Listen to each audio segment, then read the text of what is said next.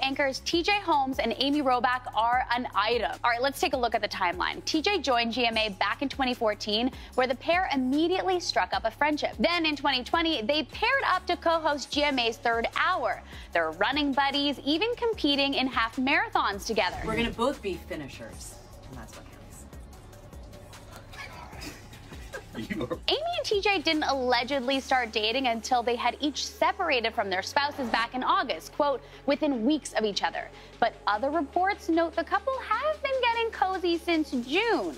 Page six reports Amy is officially divorcing actor husband Andrew Shue and that it's, quote, almost finalized. And after all this goes public, TJ and Amy reunite on air, and it is awkward. Who's looking forward to the weekend? Uh, me? Yeah? Yes, of course. of course we are. A source close to the pair tells eTalk that things went to the next level during coverage of the Queen's funeral. They were spotted feeding each other, showing up together for morning meetings, leaving group office drinks together, and giving mega couple vibes. But honestly, we feel for Amy's husband, Andrew Shue. His character, Billy on Melrose Place, was always getting cheated on. So, is this life imitating art? So I guess the, the music and the candles